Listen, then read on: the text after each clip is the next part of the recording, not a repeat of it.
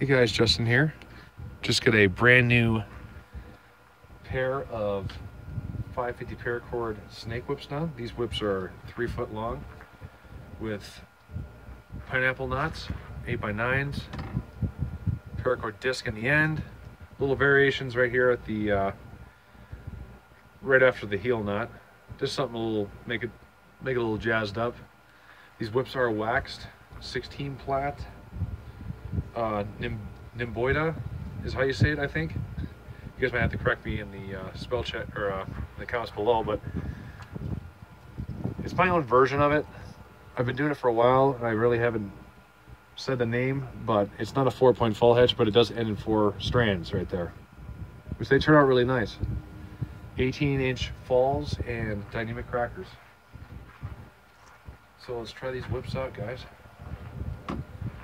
Still a little stiff on the wax, but they want to roll right out, I'll tell you that. All right.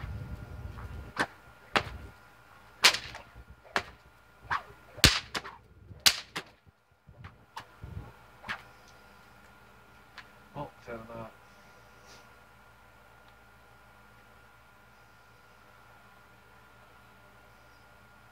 Cut that or, you know, just grab the other whip. I don't usually mess with snake whips much. When I do, I always tie knots.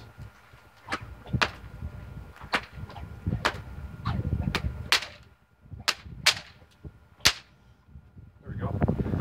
Said, they're still a little stiff, but really turned out nice. And these are a custom order going out to Kevin. So Kevin, I hope you enjoy your whips, and we'll see you guys next time.